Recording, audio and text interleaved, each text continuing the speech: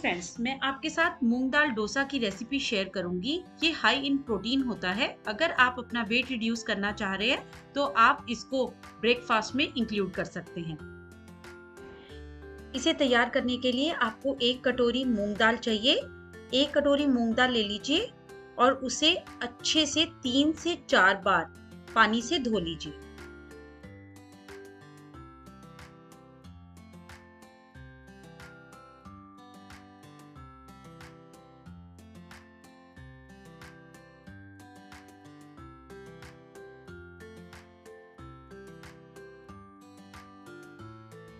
जब आप मूंग दाल को अच्छे से धो लें तो इसे अब 10 मिनट के लिए गर्म पानी में भिगोकर ढककर रख दीजिए।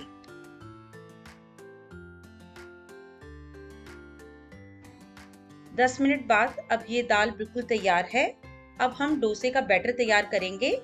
उसके लिए हम एक मिक्सी का जार लेंगे और उसमें इस दाल को ऐड कर देंगे। बैटर के लिए इसमें हम एक हरी मिर्च, दो सूखी लाल मिर्च थोड़ी सी अदरक, वन टेबलस्पून जीरा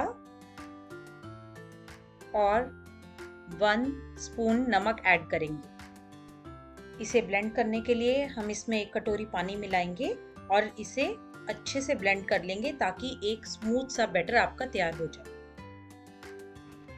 अब आपका मूंग दाल का बैटर बिल्कुल तैयार है और अब हम इनका डोसा बनाना स्टार्ट करेंगे।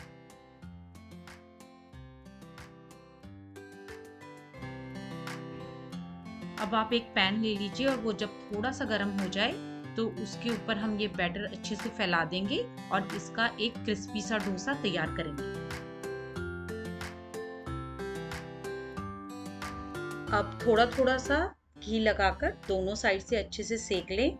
और आपका क्रिस्पी मूंग दाल डोसा बिल्कुल तैयार है। आप इसे ब्रेकफास्ट में टमाटर की चटनी धनिए की चटनी या कोकोनट चटनी किसी के साथ भी ले सकते